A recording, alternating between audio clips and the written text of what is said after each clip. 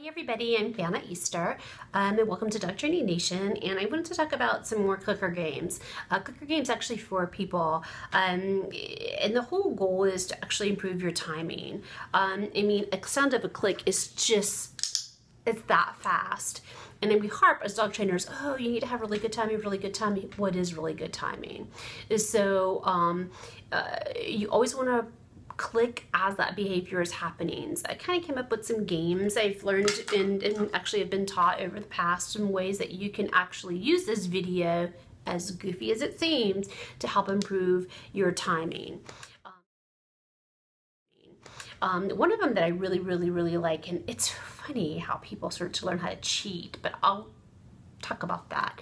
Um, one that I really, really learned and I thought it was so clever is that you get a partner, you get a friend, and you actually will have them come by and um, they will click. You will click every time they go click to touch you. Okay? Click, click, click.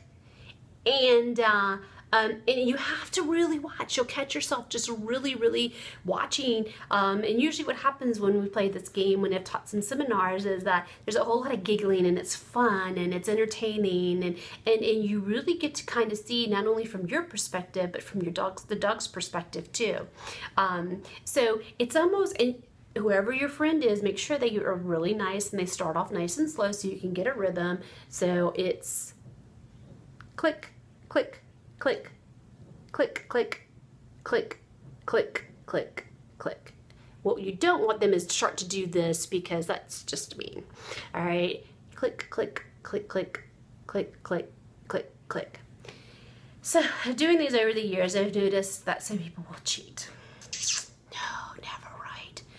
So what I'll see people do is they'll have someone touch their arm and they'll just turn away and they'll do this. Click, click, click, click, click, click, click, click, click, click. What they're clicking is, is every time they feel it, okay? Every time they feel the touch is when they're clicking. But if you notice, when I say click, my finger's already moving. So if you, you try to cheat, what you're actually teaching that person is, instead of touching, click, click, click, click, click, click, a finger coming down and touch, you're actually teaching them to move their finger back. Click, click, click, click, click, click, click, click, click, click, click. I can't see. I'll probably look back at the video, but if that kind of makes sense. Very small, very precise, and if you're super, super, super brave, you can absolutely go to a chicken camp. Yes, you can go to a camp and you can clicker train chickens. You will come home and you will hug your dog because you will realize how forgiving your dogs are and, uh, uh, and how easy it actually is because chickens are quick.